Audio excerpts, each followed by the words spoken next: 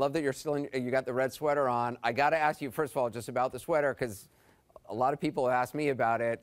Uh, it's gotten so many comments online, as your question did. How did you choose to wear it last night? Well, Anderson, I don't think that your producers would have let me on the show if I didn't promise to wear the sweater. Uh, but uh, thank you so much for having me on. Uh, the reason why I went with the red sweater uh, is uh, I, I had a very lovely olive colored suit that I was going to wear and my grandfather helped me to pick out before he passed away. And I thought, man, that'd be great. I'm going to be on national TV. I can wear uh, Grandpa's favorite suit. But apparently, since he passed away, I've gained about 30 pounds.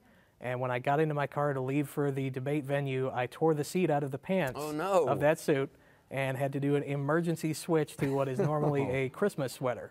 Well, it works. I, I, I, there were signs outside the debate hall saying Bone 2016 for president people talking about Halloween costumes in your name. Does it feel strange to sort of become an overnight sensation? Uh, it's been very strange, and uh, I'm very sorry to all the uh, Ken Bone 2016 people, but I am only 34 years old. Uh, you'll have to wait for Ken Bone 2020.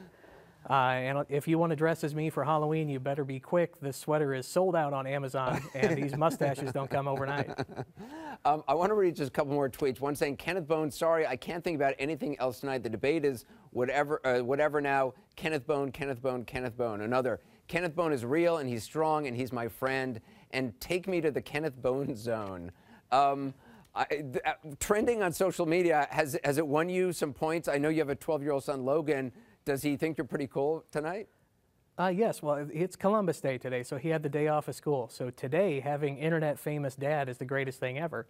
Uh, tomorrow, when he has to go in and talk to his friends, maybe he'll change his mind. But just to be cool in the eye, eyes of your preteen son is uh, worth this whole thing. Well, um, first of all, as I said to all the participants last night, but I met with you all before the debate. I, I you know, to to, to put the time in that you put in to come up with your question, uh, to spend the day there. It's not an easy thing to stand on that stage, ask a question. I'm so glad we got yours in. I wish we got more in.